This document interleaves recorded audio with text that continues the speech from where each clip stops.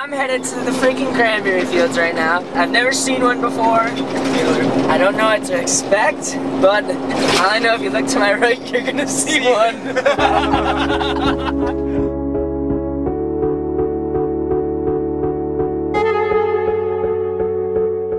the Red Bull winch has let us be able to ride something so unique, so different that you know I've never been able to do. I never would think that I'd be in Tomah, Wisconsin, winching a cranberry field.